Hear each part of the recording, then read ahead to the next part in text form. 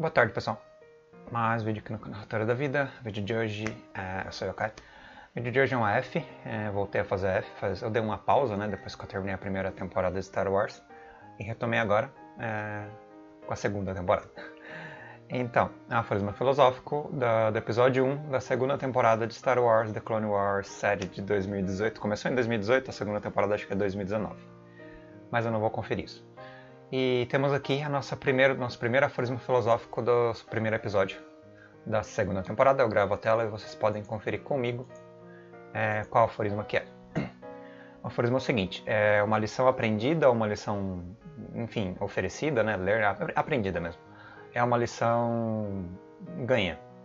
Uma lição. Acho que ganha é o melhor, melhor modo de traduzir.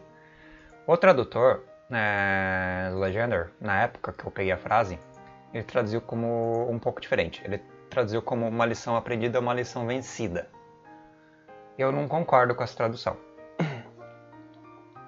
Bem, primeiro porque ganhar é você receber alguma coisa que não era sua. Vencer é um ato de conquista. Ganhar é um ato de acúmulo.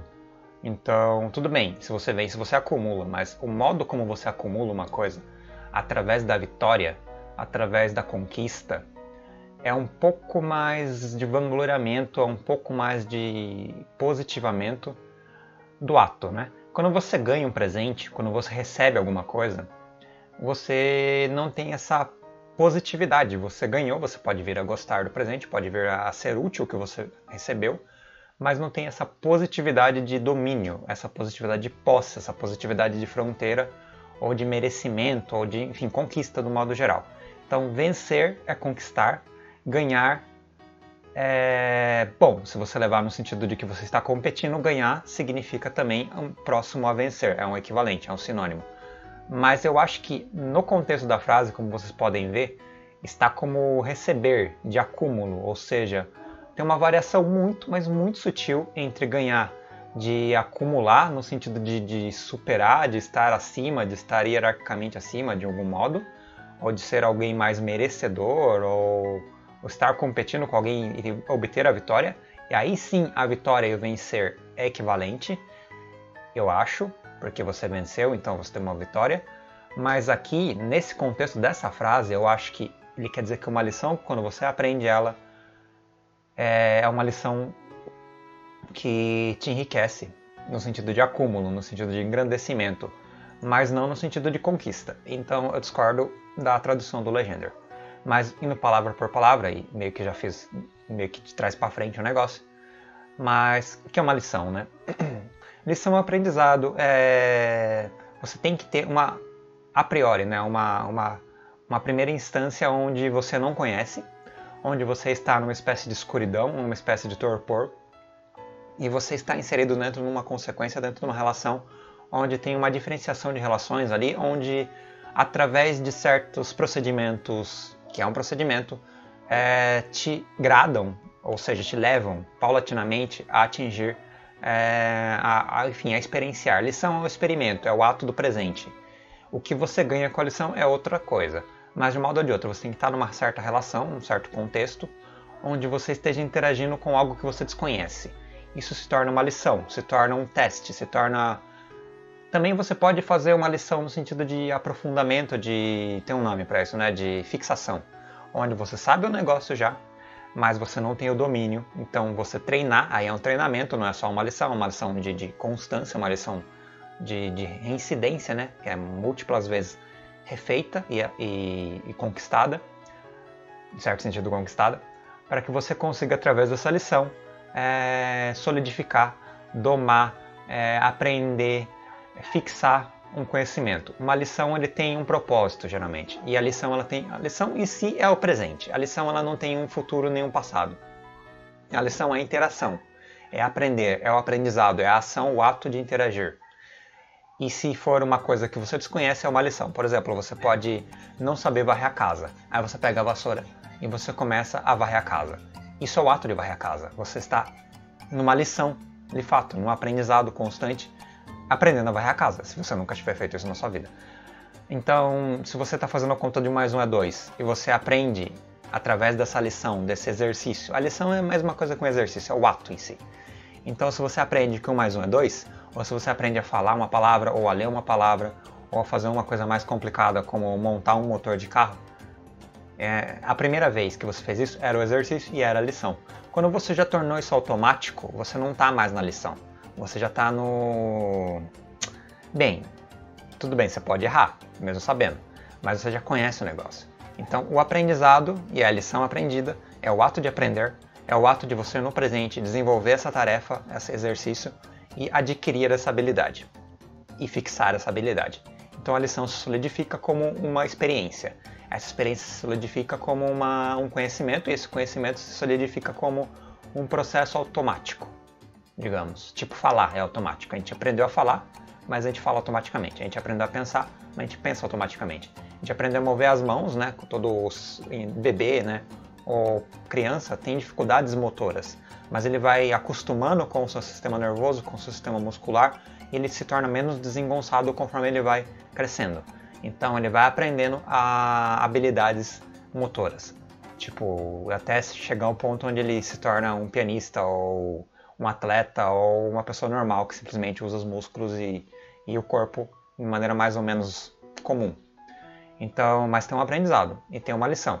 A partir do momento que você aprendeu essa lição, ela não tem que mais ser aprendida, né? ela se torna automática. Por exemplo, quando você tem um, um acidente e você tem que fazer fisioterapia e reaprender a mover o membro, por exemplo, você perde por um tempo por algum dano na, na medula ou algum dano no sistema nervoso ou algum dano específico no seu corpo e você faz a fisioterapia. Você já sabia fazer aquilo, mas você, não que você desaprendeu a fazer, mas você tem que se readaptar, tem que reaprender porque as circunstâncias físicas mudaram.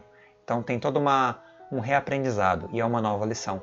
E logicamente você pode ter uma ótima, um ótimo resultado na fisioterapia e depois de, sei lá, um ano, dois anos ou alguns meses, depende muito da situação, você voltar a meio que a normalidade. Eu já fiz isso.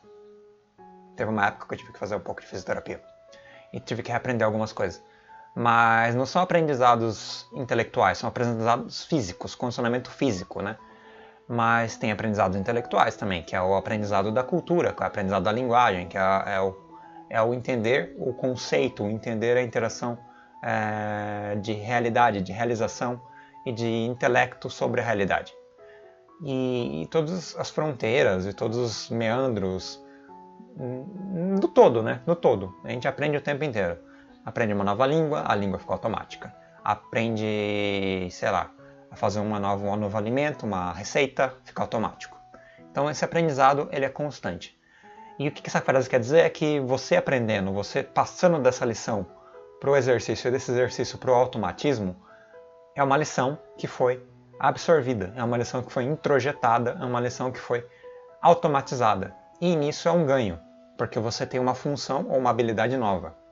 Você aprendeu a falar, você tem a habilidade de fala. Você aprendeu a escrever, você tem a habilidade de escrita. Você aprendeu a andar de bicicleta, você tem a lição vencida, a lição aprendida, que é teu equilíbrio, aprender a pedalar, aprender a, enfim, N coisas. Eu não sei andar de bicicleta. Então, essa lição eu não conheço. Mas, é, então eu perdi. Não, eu nem perdi porque eu nem tentei. Então, é, você teoricamente fracassaria na lição se você não conseguir aprender a habilidade como eu não nem sequer tentei desenvolver a habilidade, eu nem estou nesse patamar de aprendizado, no caso da bicicleta. Mas a partir do momento que eu aprender, pode ser considerado uma vitória, mas eu não gosto da palavra vitória que ela conota a competição. Então eu prefiro o ganhar, o acúmulo, o, o ter uma coisa nova, ter um horizonte mais abrangente, um horizonte mais expandido. Então essa frase em específico eu considero como uma lição aprendida é uma lição ganhada. Eu vou pôr isso, né? É, fica estranha a tradução, mas eu vou pôr como se fosse uma lição ganhada.